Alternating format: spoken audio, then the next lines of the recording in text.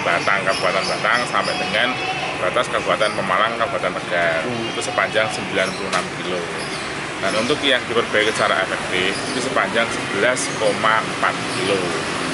Jadi posisinya tersebar Pak, ada 5 titik di hmm. Rejik selain ada KM 62 ada KM 74 ada KM 78 ada KM 90 ada KM 98 ada hmm. tambah lagi rigid petaruhan yang baru dibangun. Jadi semua pekerjaan kita akhir selesai di akhir tahun ini Pak.